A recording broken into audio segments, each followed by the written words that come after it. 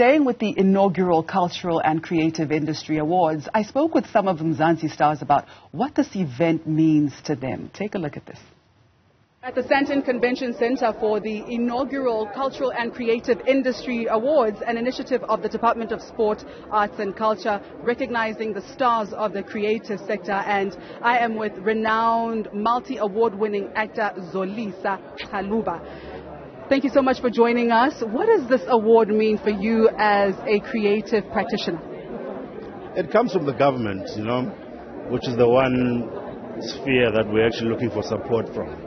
So it's a step in the right direction by Mr. Zizi Kodwa and his people to at least start with acknowledgement.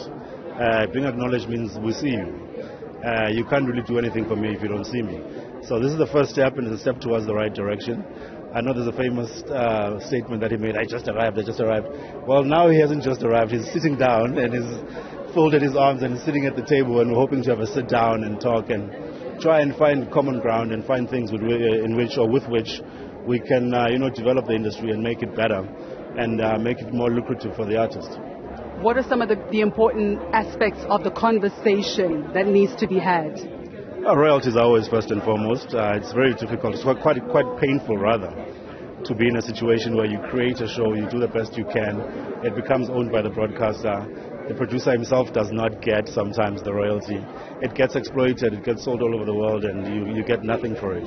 It's uncommon in other parts of the world, but, but for some reason they, they think it's, uh, it's okay for us to be accepting of this. So that's the first one.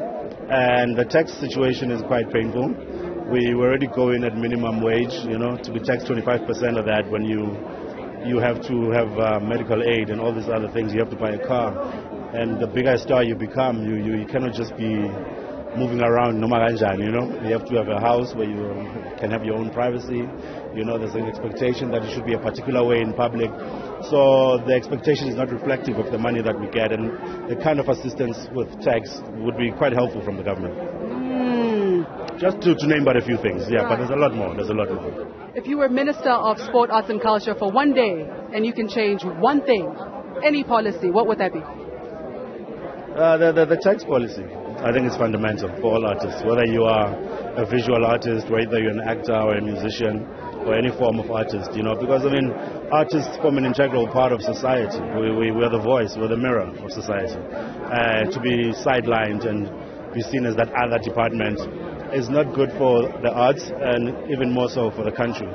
And I think the government should be more cognizant of who we are and the contribution we have to society.